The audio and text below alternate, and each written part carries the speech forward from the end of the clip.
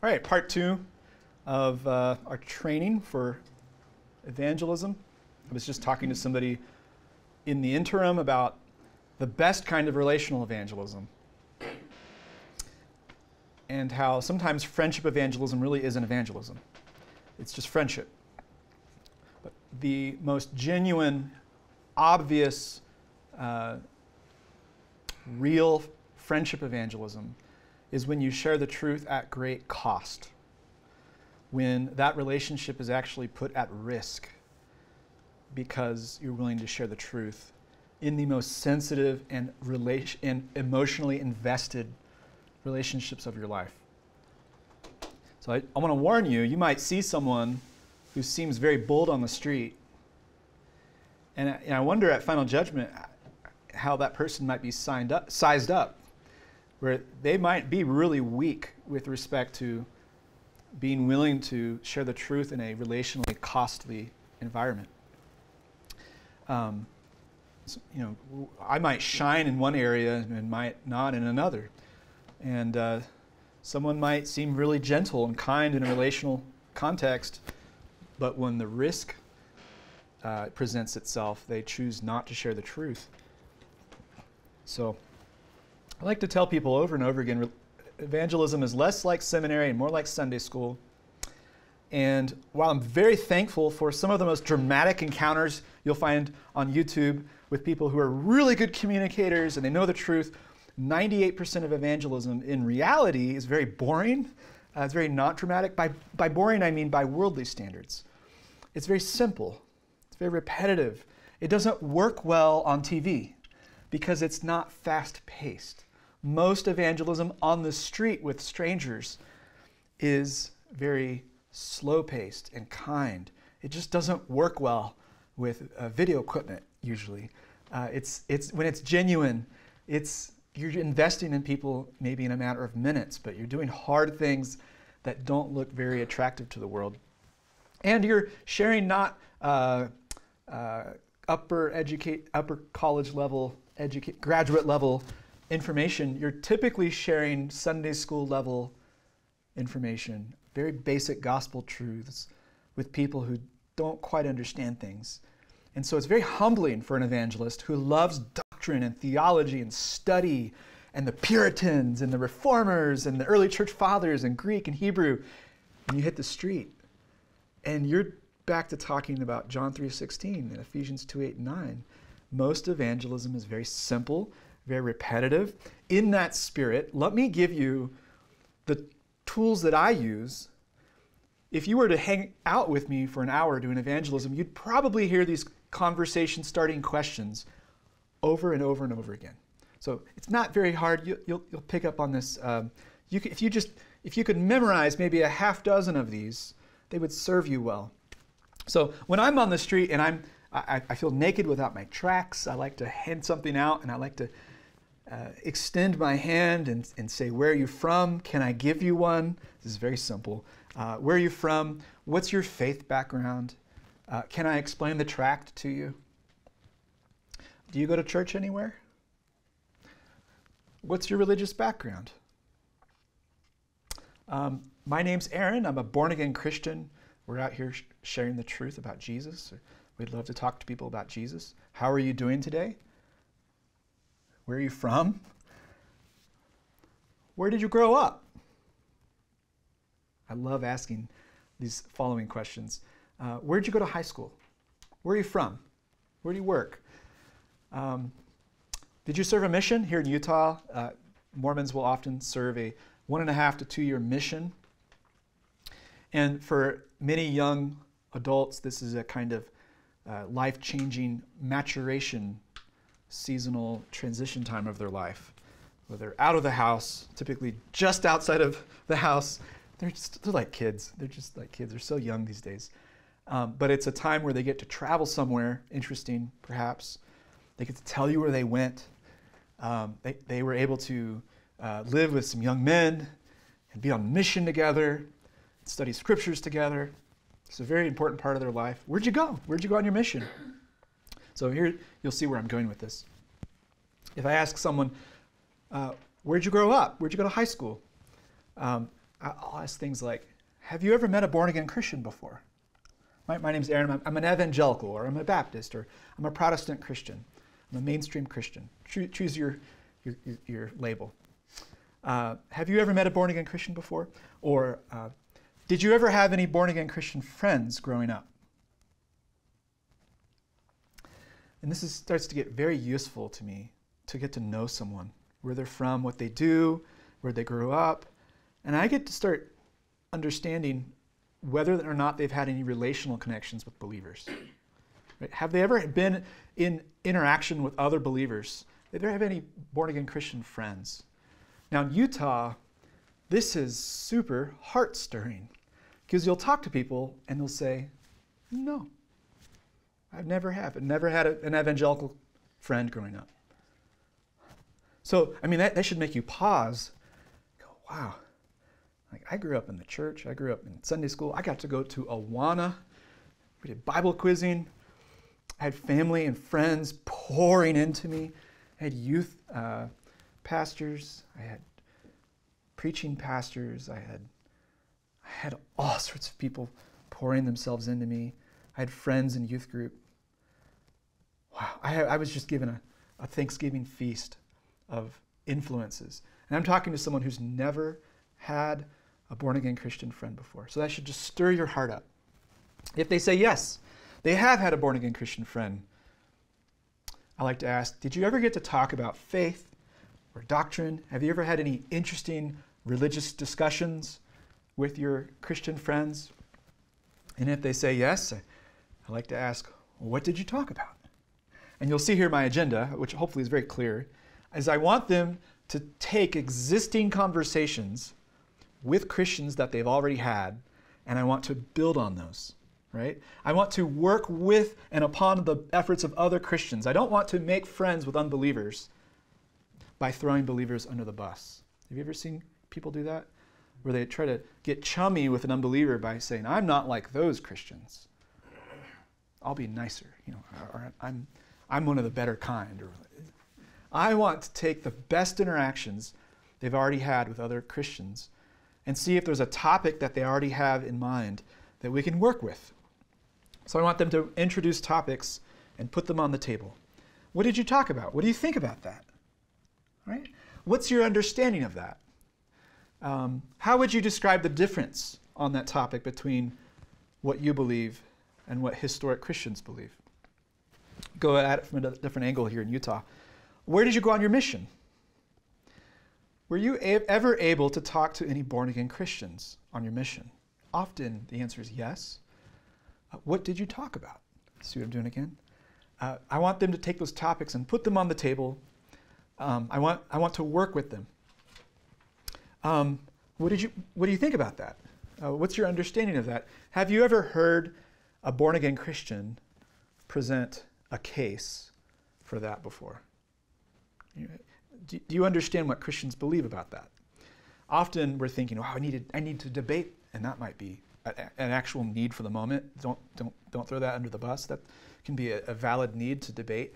But often, the people we're talking to just don't know what we believe. They, they have very sad misconceptions about even the, the fact that we believe in the physical resurrection. Many people in Utah aren't even aware that we believe in the physical resurrection of the body. Or they think uh, the Trinity consists of a kind of uh, modalism or you know uh, they, they, mis- they misconstrue basic Christian beliefs about grace. What's your understanding of what we believe about that? Um, so, you, you see where I'm going with that? I want them to talk about existing conversations, existing relationships. I want to see if I can get them to talk about existing topics they have in mind that they've already spoken about. I want them to put those on the table and work with those. Two of the questions I often ask on the street are What would you say uh, are the biggest differences between your faith, say, the biggest differences between uh, what Mormonism teaches and what historic Christianity teaches, or mainstream Christianity, or evangelical Christianity. What would you say are some of the biggest doctrinal differences between uh, your belief system or your church and what historic Christians teach? And you kind of have to coax that out sometimes because they'll maybe say something superficial or say like, well, actually we're quite similar and you know, we, we, we only vary on unimportant things. Or you know, we have much more in common, they'll say, than, than, than uh, uh you know, dissimilarities. Uh, so I, will just kind of press that. Well, you know, what else? What else do you think most divides us? What most differentiates your, uh, your faith and our faith? What's your understanding of some of the biggest differences? And if they give you kind of uh, weak answers to that, you can just say, interesting. What else? It's really simple. And if they give you something interesting to work with, you can work with it. And you can go from there to the gospel. That's really where we're going here. I want them to put topics on the table. What do you think are the biggest differences? What have you already spoken about with other Christians? The other main question I ask this is my uh, billion dollar question is have you, have you ever heard a born again Christian summarize the gospel before? It's very simple, and this works with anybody. Have you ever heard a Christian summarize the gospel before? I love that question. It simplifies everything. Even if we have a lot, to, a lot of ground to cover, even if we have to do some deconstructing of bad ideas that they have, can we at least get there first? Have you ever heard a born again Christian summarize the gospel before? I love the question because it's a win win either way. If they say yes, you can ask, What did they say? and I get to hear them explain the gospel as they remember it. Right? Maybe it was an excellent gospel presentation, but they only heard it piecemeal or they heard it weekly. Um, what did they say? What's, what's your understanding of the evangelical gospel? And if they give you an interesting, you know, presentation, huh, that's interesting. Well, that's not quite right, but or yes, that's great. That's what we believe. If they say yes, you say, what did they say? If they say no. They have never heard the gospel summarized before by a born again Christian. I get to pause and think. This is probably the most important conversation this person will have up until their up until this moment. This is the most important conversation this person will have ever had in their life and it softens your heart, hopefully. It stirs you, it provokes you to compassion. This person, to their memory, maybe they've heard it 10 times and they can't remember it, any of it. But to their memory, they've never heard a summary of the gospel before. If they say no, they've never heard it before.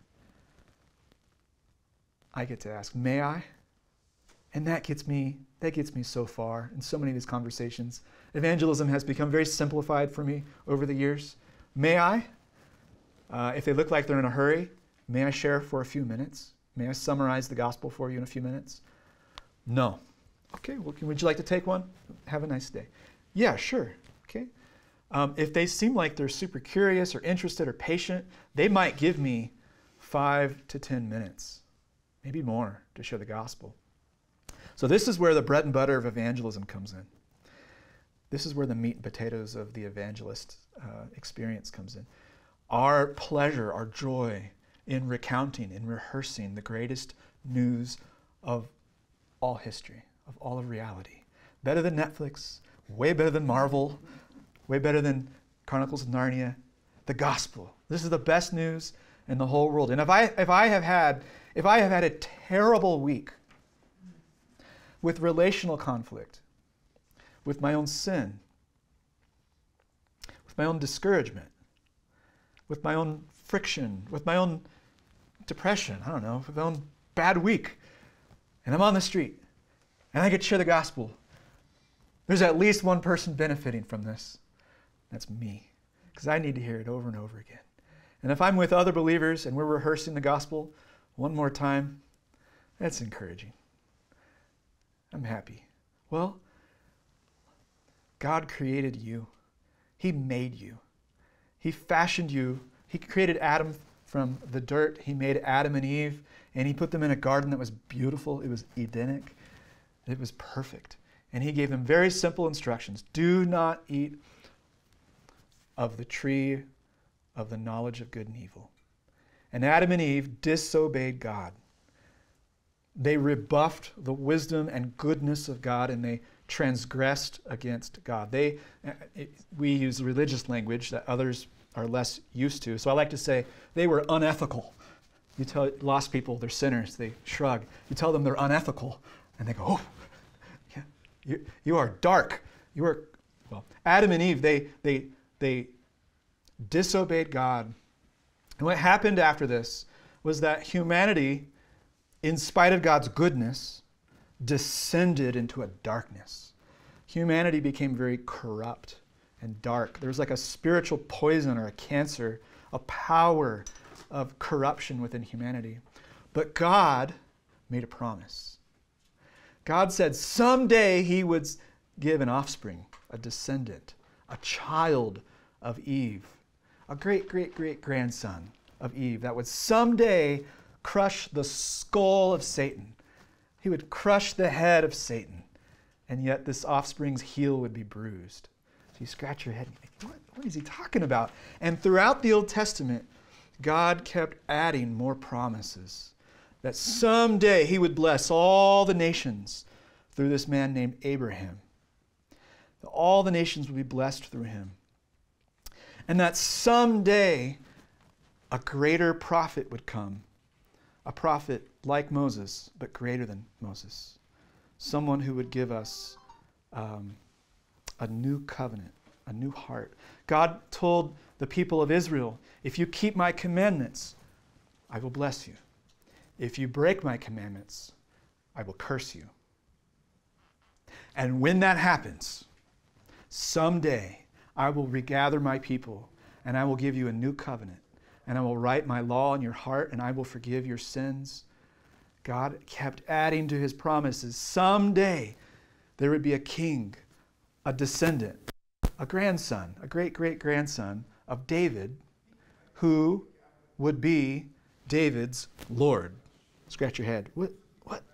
Someday there's going to be a grandchild, a descendant of David who's David's boss, who's David's Lord, who's David's God. Someday God's going to gather all of his people and he's going to give them a king like David, a prophet like Moses, an offspring who would crush Satan, someone who is a suffering servant, pierced for our transgressions, someone who is born of a virgin, someone who is the Ancient of Days. 2,000 years ago, this offspring was born of a virgin. He entered into the world under very humble circumstances. And he didn't talk like anyone else, first of all. Uh, there was, uh, there was, I love storytelling in evangelism. There was once uh, some men who were sent to arrest Jesus in the Gospel of John, and they came back to the religious authorities, and the religious authorities said, Why didn't you arrest him? And they said, Well, he doesn't talk like other people. He doesn't talk like other people. Uh, Jesus showed he had all authority over life and death. He could touch a leper. And instead of becoming unclean, Jesus stayed clean, and the leper became clean. He was healed. Jesus could forgive a person's sins by saying, Your son, your sins are forgiven. And the authorities would say, only God has the authority to forgive sins, which is sort of true, which, which is true, right? And Jesus would say, I know what you're thinking, to show you that the Son of Man has the authority to forgive sins on earth. Jesus says, what's, what's, by the way, what's harder, what's easier to do? To say to a man, your sins are forgiven, or to say to a paralyzed man, get up, take up your mat, and walk. And Jesus looks at this man and says, get up, Take up your mat and walk. And this man walked right on out. The demons were terrified of Jesus.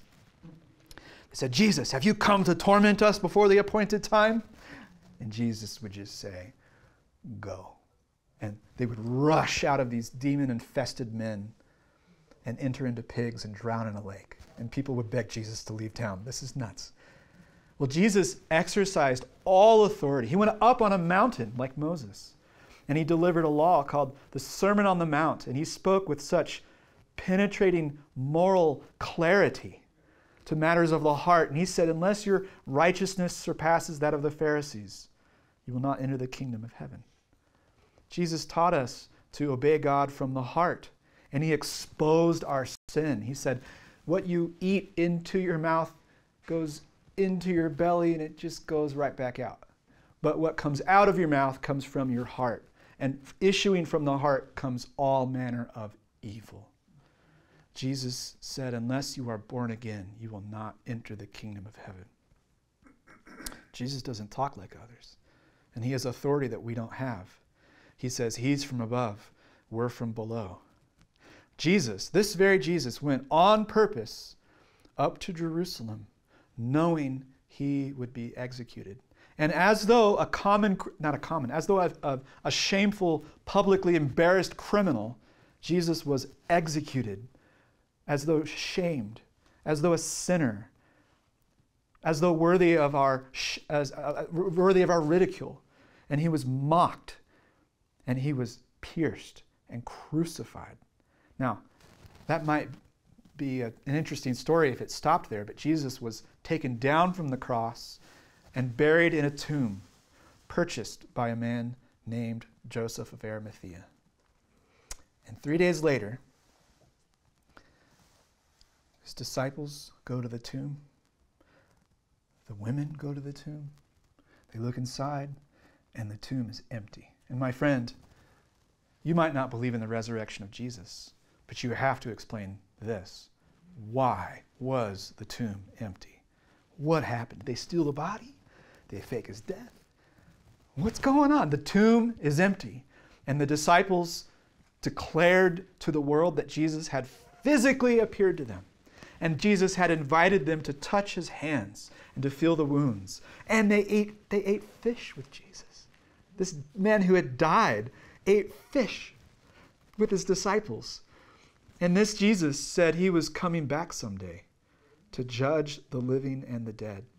And so the million dollar question is Will I be right with God when Jesus returns? Now, I have a, that awful problem that sin problem, that guilt problem. I ought to go to hell forever. And I am under the power of Satan apart from Christ. So I have this twofold problem. I have the guilt of sin and I have the power of sin. And if Jesus were to come back and judge me, he would rightly find me guilty. And if you said, That's okay, Aaron, Jesus knows your heart, I'd say, That's a terrible problem because all the worst things about me come from my heart. My heart is not an asset, it is a liability. My heart uh, has violated its conscience and violated God's law and hurt people unimaginably so many times. I can't even fathom the ways I've most deeply hurt the people in my life. So, if I were to be judged by the Ten Commandments, by my, even my own conscience, by God's moral law, at final judgment, I am in bad shape. I deserve to go to hell. But here's the good news Jesus says, Whoever hears my words and believes him who sent me, this man has passed from death to life. He has eternal life. For God so loved the world that he gave his only begotten Son, that whoever believes in him will not perish, but have eternal life. So, my friend, I'm speaking to here, this Jesus someday you will meet face to face and you will have to reckon with him because he will reckon with you. He, you will have to give an account for your life and he will judge you. Jesus has the authority to throw you in hell forever, and he has the authority to forgive your sins. And he has accomplished a final sacrifice wherein Jesus was the curse for our corruption, for our unethical, evil, dark, cancerous corruption, our awful depravity. Jesus was cursed on our behalf. So, if you want to have your sins forgiven, if you want to be right with God, you need to trust in Jesus who forgives sinners. The Bible says if we confess with our mouth and believe in our heart that Jesus has raised from the dead, you will be saved. So, where do we go from here? I just gave you five minute gospel presentation, and I've, I've shared that a lot, right? So you're like, okay, I don't, I can't do that. Well, here's what you can do. You can practice. uh, and this here's where you can uh, be awkward for the Lord's sake, um, with your friends, with your family members, with uh, husband-wife devotions, with friendship group, or with the street in practice. Uh, here's, here's, a, here's an assignment for you. Here's a homework assignment for you. Practice sharing the gospel in increasing increments of time. Say 30 seconds. If I only had 30, really, evangelists will share the gospel even if they only have 30 seconds? Oh, you betcha we will. We'll pack it in as best as we can. So start with can I summarize the gospel in two or three sentences? Because sometimes someone is drunk or strung out or mentally incapacitated. Sometimes people need to hear it really simple. Sometimes people need to hear, You are a sinner, and Jesus died on the cross and rose from the dead. If you call upon the name of Jesus, you will be saved. People need to hear that. Maybe you need to say that over and over again with someone who's not able to carry a good conversation. And maybe you could expand that to a minute. Right? This is a tangible uh, homework assignment if you're willing to do this. Practice sharing short term gospel summaries. And if you're able to go to the streets with us, you'll get lots of practice. Have you ever heard the gospel summarized before by a born again Christian? Yes. Well, what did they say? No. May I share it with you? And just try to go for a few minutes. See how, you know, gauge attention spans. What do you think about that? What are you going to do with that information? If you were to die tonight, where would you go? Heaven or hell? So that's, that's the uh, call to action. That's the one, two calls to action today. One is to practice summarizing the gospel. And I'm hoping you've picked up some conversational questions that you can gear your aim, uh, steer your conversation toward sharing that. And then God will take that conversation perhaps in a different direction where you can expand on it or deal with false ideas that are blocking them from understanding the gospel, and you could help them with those issues and correct those issues. The other call to action that I have uh, discovered to be very fruitful, because I've given this call to action in years past, is to take one of the four gospels and to indulge yourself in it, to voraciously and gluttonously uh, eat it up. To uh, there's different ways to do this. An audio Bible, for example, um, you can get a good audio Bible that you like, and say pick the Gospel of Mark, pretty short. Gospel of Matthew, Gospel of John. Luke's kind of long. People don't pick that. If you want to do extra credit, go for Luke. Pick one of the four and eat it up for a whole year. All right? Just st- start date, end date. And just try to, on maybe on your commute, just imbibe on that. Just it's like it's like a hike that you take over and over and over again. You start to know it like the back of your hand. You start to know the contours of it. You start to internalize the stories of one of the four gospels. I have given this call to action before. And a year or two or three later, I've had young adults come back to me and say, I did it. And it was so fruitful. Thank you so much. It, not just for evangelism, but for my walk with the Lord. I got to know the Lord Jesus Christ better. Now, with respect to evangelism, you realize, don't you? Those were the instructional evangelistic manuals of early Christians, right? That's their evangelistic material. If they want to get someone excited about Jesus, that's the stuff they shared. Those are the Jesus stories that they would share. I remember uh, listening to a, uh, a missionary uh, who um, served in the Middle East.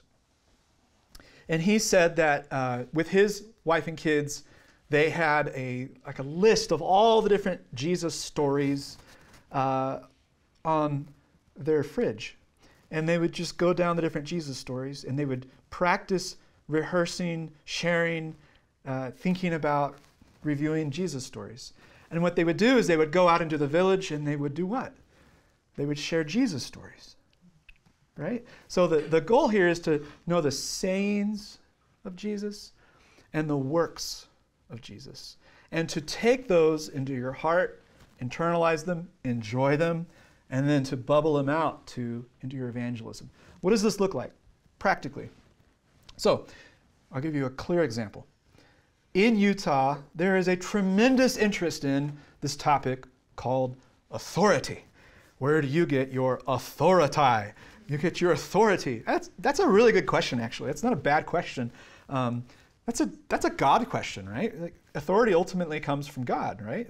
We, we should care about whether or not we are authorized to do or believe what we believe. Uh, we need permission. I, it, the question is a good question because it assumes we need permission to do certain things. Uh, we're not uh, autonomous creatures that have ultimate self authority to do as we please. We need authority. So that's a, that's a good question. Where do you get your authority? Um, so I like to ask uh, my neighbors here, I, neighbors, I mean usually strangers on the street, um, you know, what's your, what's your favorite of the four Gospels? Um, what do you most enjoy about that Gospel? So I'll ask that to mission, LDS missionaries. Uh, do you enjoy reading the New Testament? And of course, they have to say, Yes, I do, I do. Well, what's your favorite book of the New Testament? And they tell me, What's your favorite part of that book? And it's like, Oh, they're like tested, like, ah. like, what's your favorite of the four Gospels? Matthew, Mark, Luke, and John. What's your favorite of the four Gospels? What do you most enjoy about it? You see what I'm doing again? I'm getting them to put something on the table to work with. What's your favorite of the four Gospels? What do you most enjoy about it? Um, and when, when a topic like the temple or grace or authority comes up, I'll say, uh, to your memory, what did Jesus say about that? What did Jesus say about that? And that's a question I have to really coax out more because people will say, well, um, I believe XYZ, or our church teaches XYZ, or uh, you know, God you know, teaches this. Well, what did Jesus say about that? So I might have to ask that like four or five times. Well, yeah, yeah but like, quite literally, what did Jesus say about that? I don't know. Well, can I show you?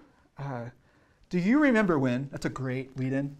Uh, when you've when you've taken maybe a few chapters of one of the four Gospels and you've started to really familiarize yourself with the stories, you can say on the street, "Do you remember when?"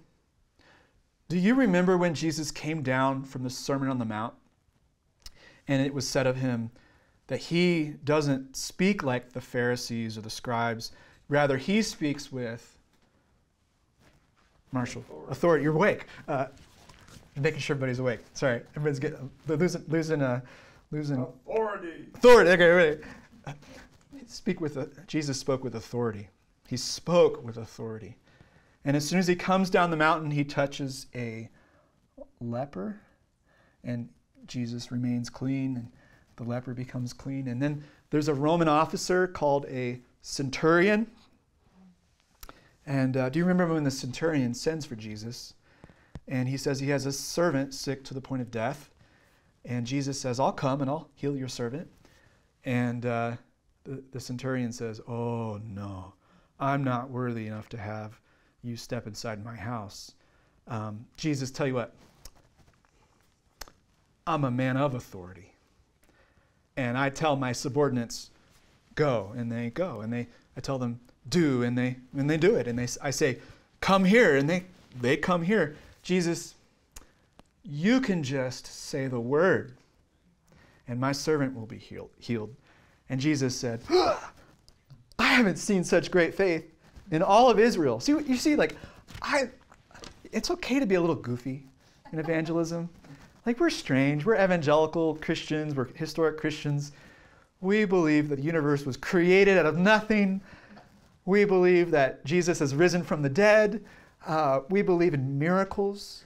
We, we believe that Jesus walked on water. We believe in the resurrection of the body. We're much weirder than we realize. We, our mysteries are much more mis- mysterious than, than we realize the, the, the revelation that we've been given by God is such a gift. Um, now, the world's weird. They have their own kind of weirdness and strangeness. So, the question, the million dollar question for your life is do you want to be weird like Christ or weird like the world? Do you want to be strange like Christians or strange like unbelievers and what they devolve into? So, am I willing to be a little strange in my evangelism? A little goofy, even. Yeah. Well, I love telling Jesus stories. Jesus said, I haven't seen such great faith in all of Israel. Go, it will be done for you. Do you remember when the two men had a crippled buddy and they couldn't get close enough to Jesus? So they take their buddy on a stretcher, they go up to the roof, and they puncture a hole in the roof. How rude. And they look. yeah, they, all the stuff's falling down, and they lower their friend down. And Jesus looks up and he's so impressed by their faith. He says, Son, your sins are forgiven. And that's when the riffraff in the back says, Don't you know that only God has the authority to forgive sins? And I, I'm, I'm trying with my interlocutor, that's the fancy term for conversation partner, I'm trying to involve them in the storytelling a little bit because sometimes people do know the stories a little bit and they could fill in the gaps in a little bit. I can prompt them to tell the story with me or remember the story with me. And it, it doesn't feel antagonistic. I, I remember one time in Manti just doing this for like 45 minutes. And uh, we're having this great conversation. These young adults have started to gather around. And this young man just comes blasting in, storming in, and he tries to warn all the other Mormons not to talk to me because he says, This man is an anti Mormon. He's on YouTube and he, he's against the church and he's going to teach you lies. And all the young adults looked at him like, He's just been sharing Jesus stories for like 45 minutes. like, Bunch of lies. Jesus says, To show you that the Son of Man has the authority to forgive sins on earth, he points to the man and says, Son, take up your mat and walk out. And I love to expand on that a little bit. When you were a boy and your father said, clean your room, you didn't say, by what authority? you didn't ask for priesthood papers or your birth certificate. There is something about the words of your father that sufficed for authorization. The authority to clean your room was embedded within the command to clean your room. And when your mother said, Son, do the dishes, you didn't want her to lay her hands on you. Her words were enough. Well, when Jesus tells a man who's paralyzed to walk, your legs obey. Jesus was in a boat shortly after, and there was a storm, and the disciples said, Jesus, don't you care about us? We're going to die. This is awful. And Jesus looked up at the storm and he said, Be quiet. Zip it. Be quiet. Peace, be still. Yeah. And the storm obeyed. Jesus got to the other end of the lake, and men who were full of demons said to Jesus, Have you come to torment us before the appointed time?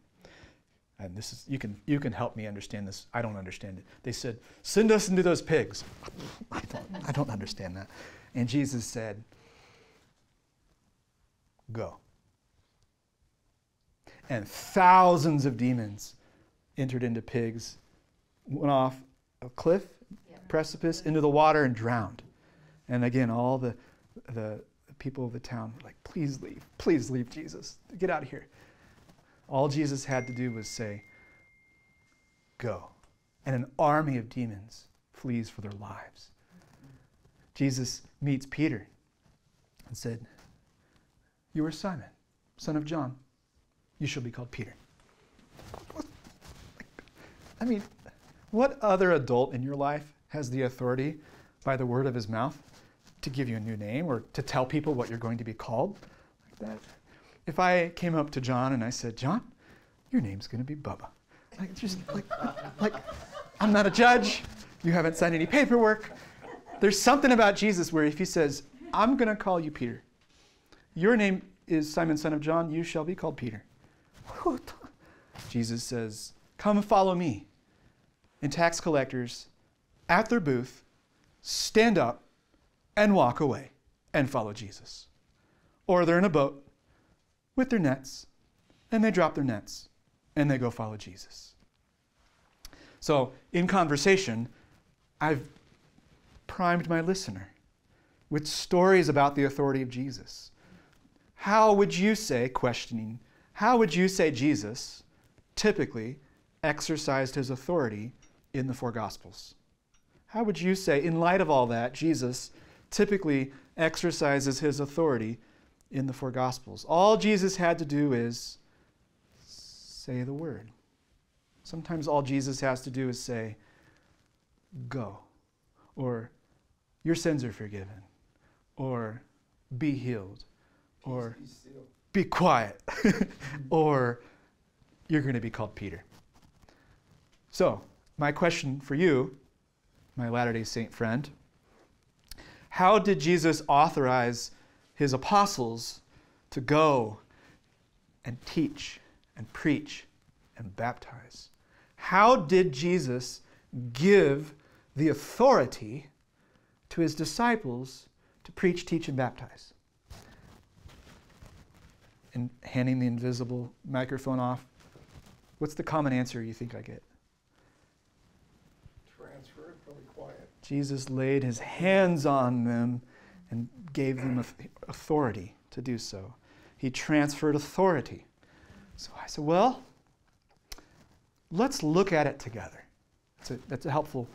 Can I show you something? Do you remember when? Or let's look at it together. That's the sharing. That's that. It's declaring sort of built into the word itself, but my mode of introduction is sharing. Do you remember when? Let's look at it together. Can I show you something? Let's look at that together. we open up to Matthew, the last uh, paragraph of the Gospel of Matthew. Well, let's look at it. And if you're like me, you have a just ridiculously big street Bible. I don't use it at home really. It's just for low light, you know, like 11 p.m. conversations with the eyes are weak and you're like, okay, I need a bigger Bible. So you, you get it out and you say, I promise I'm not trying to be weird. This is just for like late night street conversations. This is huge. It's like, it's, like, it's bigger than you think. It's, it's like an extra large grandpa Bible. It's okay. You don't need that. I'm just, put your finger under the text. Look at it with me. It says, All authority under heaven and earth has been given to me. Go, therefore Make disciples of all the nations, baptizing them in the name of the Father and the Son and the Holy Spirit. Behold, I am with you even to the end of the age. So, how did Jesus authorize his disciples to go and preach and teach and baptize? He said, Go. Jesus, all he has to do is say the word. And that's a great segue into the gospel. Because Jesus, he didn't just say big things. That's like writing a check that you can't deposit. You know, it's like Jesus didn't just say $1 million for Marshall. Oh, thank you. Jesus wrote a huge check. And when he rose from the dead, did not bounce it was in the clear. When Jesus, hold on, when Jesus rose from the dead, it vindicated and validated all of his words. Now, on account of the finished work of Christ on the cross and his resurrection from the dead, this is the end. Sorry, I'm going so long. Jesus says, Whoever hears my words and believes him who sent me has eternal life. He says to the disciples in the upper room discourse, You are already clean because of the words I have spoken to you. He says in John 6, My words are full of the Spirit and of life. And he says, Whoever hears my words and does them is like a man who builds his house on a rock. For God so loved the world that he gave his only Son, that whoever believes in him, hears his words, and believes in him has eternal life. So I'm an evangelist, I think. I, I, like to do evangelism a lot. That to me is the bread and butter of evangelism. Are there a ton of other like rabbit trail stuff we go down? Yes. There's a ton of other issues we engage with. But that to me is the bread and butter. It's the meat and potatoes. It's the sweet honey. Have you ever heard the gospel summarized before by a born again Christian? If not, may I and I love to study the four Gospels. If you want, you can look at the Lumo Project, L U M O. You don't even need the chosen. These are just word for word videos of all the four Gospels. And you don't need to watch them. If you, got, if you have uh, convictions about images, just put the phone down and listen. Just listen to the audio of one of the four Gospels and put it on repeat and immerse yourself in it for a year and take those stories and those words and those sayings of Jesus, his works, and to the street and share them like first century Christians did. All right, now we're going to take um, a 15 minute break. And we're going to hand it off to Ed, um, and he's going to teach us about sharing with the crowd down at the Spanish Fork Temple. Thank you for listening. I know it was a long stretch.